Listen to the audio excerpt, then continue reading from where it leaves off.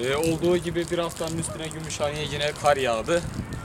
Meteorolojinin e, uyarmalarına göre yoğun kar yağışları şiddetten artacak. Biz Gümüşhane'yi karla seviyoruz. Halimizden memnunuz.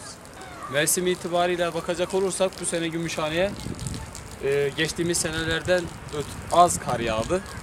Böyle giderse kuraklık tehlikesiyle yaz aylarında baş başa kalacağız.